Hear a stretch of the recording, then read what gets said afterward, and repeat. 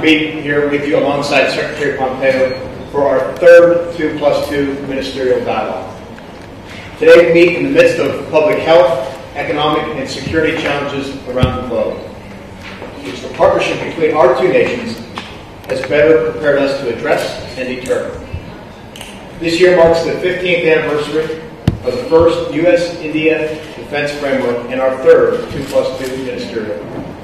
We have strengthened our defense and security partnership considerably since then, especially over the past year, during which we advanced our regional security, military to military, and information sharing cooperation. Our focus now must be on institutionalizing and regularizing our cooperation to meet the challenges of the day and uphold the principles of a free and open Indo-Pacific well into the future. Today I look forward to discussing key opportunities to expand our efforts on regional security concerns and to advance our defense priorities, to include increasing information sharing and mutual logistics operations between our militaries. To my Indian colleagues, thank you again for your gracious hospitality and friendship